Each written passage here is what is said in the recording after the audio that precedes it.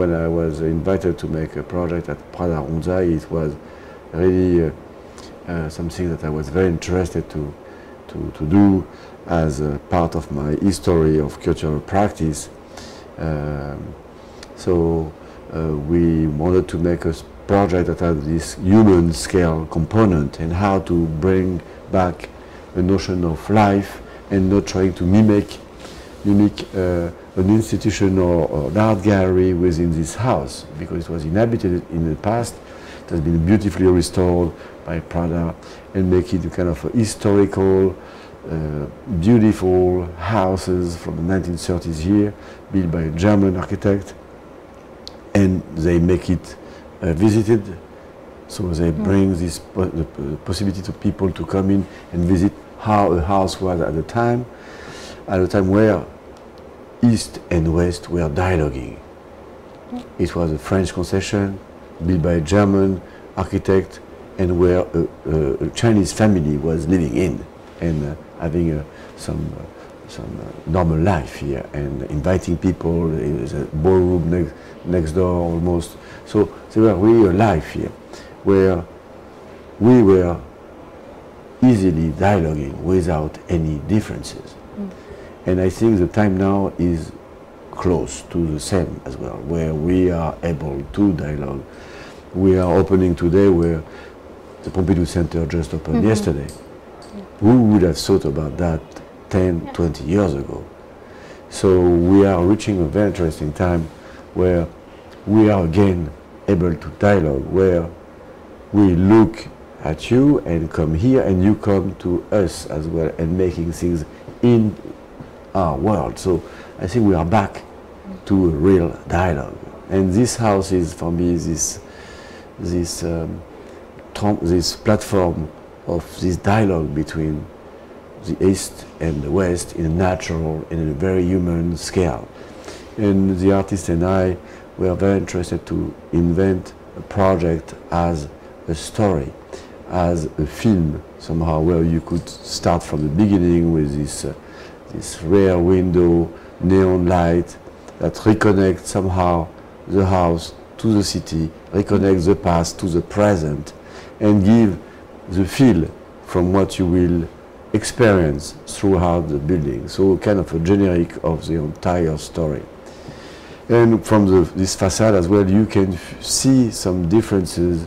There is a window that has a, a, a green film, so it shows something different, more contemporary. And the ground floor, you enter through another filter, a pink filter, to enter inside. And then you see on another floor different photos of houses built in mid-80s or 90s in the suburb of Hangzhou, where people, where they get the, the money, could build their own houses. And those houses have very specific architecture that are kind of hybrid architecture. And the specificity of it that we had in China at the time, it's most of the facade or windows were either blue filter or green filter. It was kind of a sign of uh, modernity, contemporary mm. building. And now we are at a phase where this is looking very old for China. Time goes very fast here. Mm. So this close past look very fast as an old, almost prehistoric part of the contemporary life of China. So the artist has been taking those photos of those houses that are, for most of them, disappearing now for new big building made by architects. So we are living, is showing this kind of uh, fast mutation of China. This is why this artist was for me one of the most interesting artists of the third generation of Chinese contemporary art to be working here because he's really uh, recording the change mm. of urban scale and how through a window, because the window is really part of his vocabulary, the window is not just a romantic part of the past because he's using old frame window from the French concession, buildings have been demolished, he takes over those, those, those frames but not to show the past with a tear in the eyes, but to show the transformation of the city, where landmark architectural building of Shanghai, for example, have been becoming cultural landmark places. So this is, for me, again, coming here with him was very relevant. Relevant because of his work, relevant of how we could together build a scenario where from room to room you could live different kind of experiences and create a platform where people would be taken in kind of immersive, human scale, not technological, but normal life. For example, you hear, once you push the door, you can see the face of uh, the uh, imaginary owner, Yeah, on top of which has been uh, put the face of an imaginary granddaughter. That could be you on top of it. So That's what was so interesting about walking into the Yeah. space. It was like you were suddenly in another time. another time and into a personal house Yeah. and not into a public place. It felt very like you were intruding for Yeah. a while. Until when you push the second door and you go into the, the first ground floor, uh, you can hear from the corridor the steps of a man or a lady working, walking on the upper floor, or a door opening and making some kind of noise. So it brings back again some memories, kind of a Proustian hmm. memory of what you have lived in your personal life, what I have lived in personal life in my life, with this kind of presence of people walking above your head. They can be in a contemporary building, but they can be as well in, in a old house, in your family or somewhere else. So bring back this presence of absence in a building that was empty. You have everything from the smell, the sound Exactly. the floorboard walking up the stairs. So the notion of rear window, uh, coming from uh, Alfred Hitchcock, Hitchcock. from the film movie from 1954, is as well for that. Having all your senses open, as you said, the smell, the ear, the eyes, ready to see the perspective of what you will have in front of you. So you could move on from one room to another one, and the artist is a storyteller uh, in general. He's not just a painter. Many people see him as a painter, but for me, he's much more a storyteller. And he's using this, uh, even the character taken from the neon outside in the city, not just to make this neon as we had at the beginning, but to make videos. And those videos are called neon news. They are not just giving news about neon, but they, they are like when you do your SMS with your hmm. phone. It's taking character one by one outside in the street and recreate a story. And story at a time where many stories are fake news. So he's making fake news about cultural figures, actors, filmmakers, writers, artists, and create or recreate fake news about imaginary characters. So he's making this as a video or in uh, different rooms here, and it's part of this uh, chapters, there are different chapters, or he's taking uh, the bedroom back to a bedroom where you have above the bed uh, a window, and you look like as well a, a wall that could come from your house with different collages that are next to each other. And then in the bathroom, you have a wall full of collages. That is part of his daily practice, where he mix uh, things that he, he have found in going to the West, to Europe or to America, brings back to here and connected with train tickets or things like this. And when there is a figure on top of it, he's using this green paper that you use to get rid of your Yeah, The- I was looking at the that sweat. before. and glue it into the face of figures that are in the documents he's taking. Can be a, a, a postcard from a museum in Paris or in New mm-hmm. York or in London, and he glue traces of his own figure on top of it, like a face à face, a face mm. to face on top of each other, like gluing two different realities, two different windows on top of each other to create one. Like in his work, when he takes, he makes these windows, you look through a new perspective in which you have often other elements that are kind of uh, perturbating the the only vision, if I look through the window here, I see only one uh, landscape, urban mixed with nature. Here he had always offered something else mm.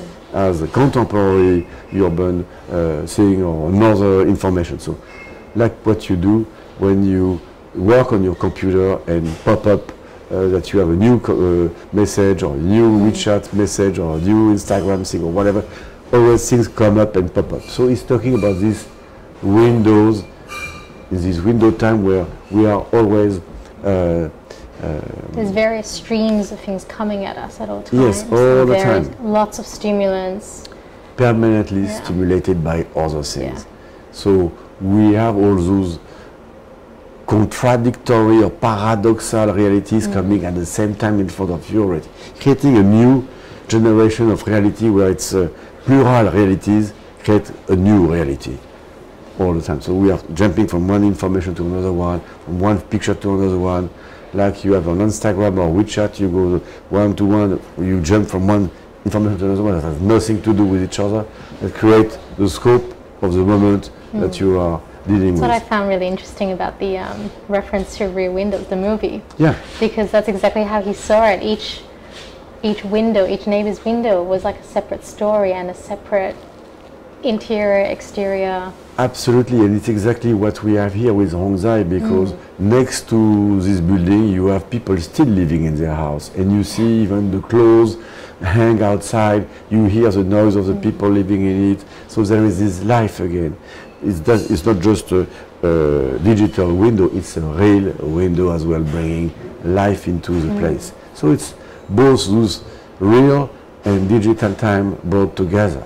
What came first? When, like, uh, I'd be interested to know how the project started. Like, did the reference to Alfred Hitchcock come first? Did you choose the artist first, or were you given the space to to then find what you the want to feel with The story started from the Prada Rong Zhai building mm. when I was invited to make a project here.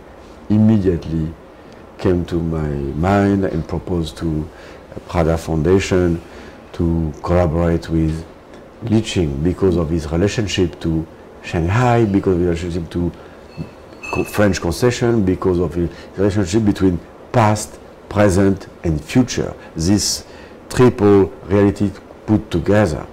Not in the, because the idea was not to make a romantic project here about mm. the past, saying it was grandiose and it's over and we had all the, these different things in between and, and now. No.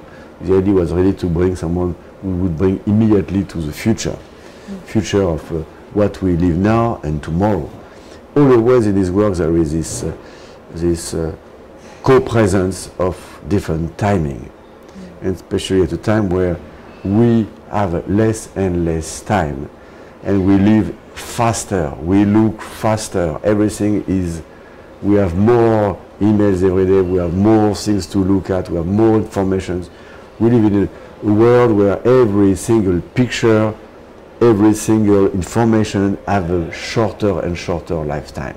So he's dealing with that. And for example, in a series of work he's doing, and we are showing here in one of the rooms very close to where we are, called Find the Differences. This coming from uh, the history of a very famous uh, uh, TV show, but as well in a different uh, drawing that two drawings that we, and there is seven different between the two of them. And why is bringing this? Because the time to look at work nowadays, if you look how people look at works nowadays, it's shorter and shorter. So with these two paintings, we look the same. It forces you to look at one and look at each other, to, to spend time to understand mm. the differences in between both. So is trying to not resist to the speed of time, the speed of mutation in which we are now, but bringing kind of a, a slow down mm. on what we are looking at. Yeah, I was just looking at those paintings mm. before. It was quite interesting because it was almost, it felt like a slow motion capture of time. Totally. You know, the, yes. the women's features that you recognize as the same woman, but something is going on that's blurring them out it's a little bit uh, what this exhibition is about because uh, again when we look at things nowadays we look at things very fast. And here, if you really want to experience the project, you need to immerse you in all the different realities and different rooms, even the karaoke, room.